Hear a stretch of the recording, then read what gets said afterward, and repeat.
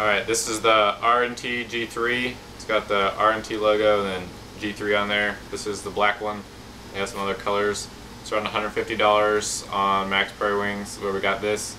Um, I'm just going to do a little bit of calling here and let you know what it sounds like. I'm not the best or anything. I'm not trying to impress anyone with that. I'm just letting you know what it sounds like.